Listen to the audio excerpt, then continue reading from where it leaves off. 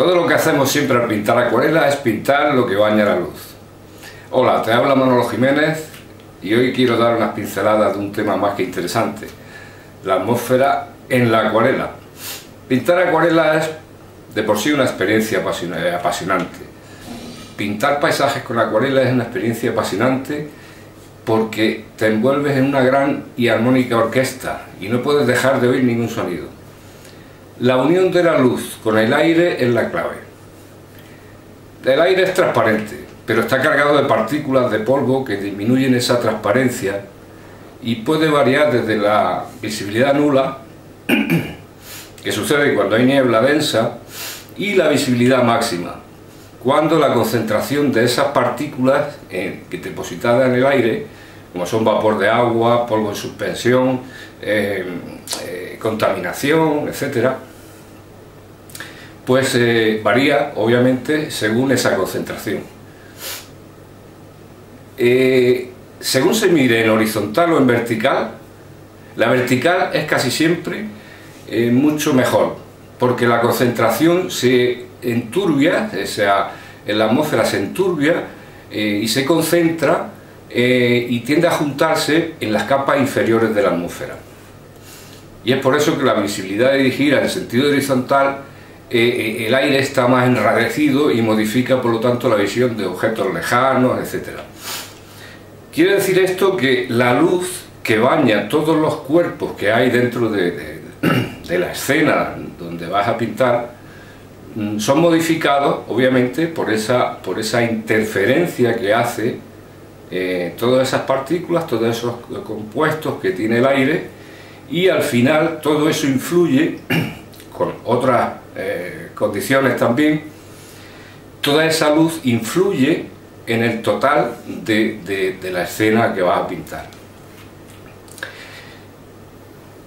Eh, es, muy significativo porque si miras desde un avión, si tienes oportunidad de ver desde un avión hacia abajo, seguramente se ve bastante bien, pero cuando va tomando tierra en la horizontal, esa concentración es mucho mayor y la visibilidad horizontal eh, se reduce considerablemente.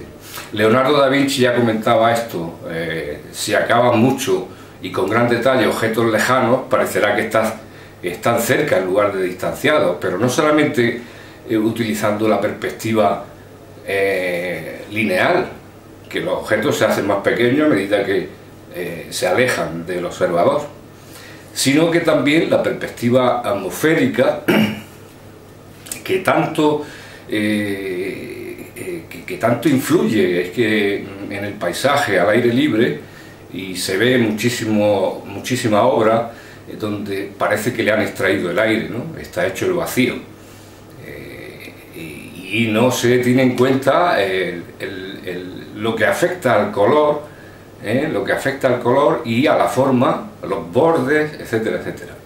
Eh, eh, cuando hablamos de atmósfera en una pintura, no solamente nos referimos a la neblina y todo esto, no, no, no, hay muchos más factores que influyen, o que se ven afectados, mejor dicho. O sea que pintar paisaje con acuarela quizás sea de las técnicas que mejor se presta para representar todas estas distorsiones o variaciones de luz. Y es una gran pena no aprovecharlo, por no considerarlo. Así que te animo a que salgas, busques un lugar abierto donde puedas eh, pensar todo esto y poder identificar ese aire para incluirlo en tu acuarela.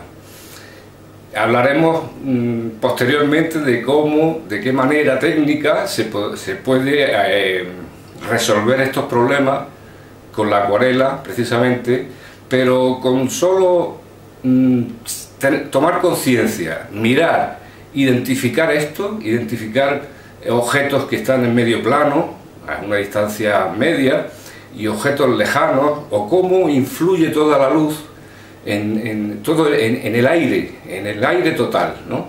Eso nunca lo puede captar la fotografía.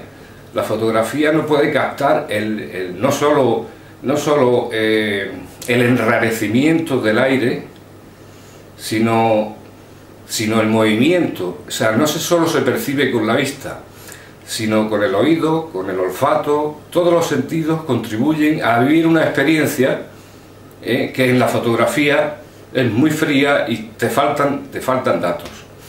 Así que nada, lo de siempre, si te, si te gusta, pues dale a me gusta y si quieres dejar un comentario que, o indicar algún tema que quieras que hablemos de él, pues nada más que dejarlo ahí. Chao, hasta el próximo vídeo artículo.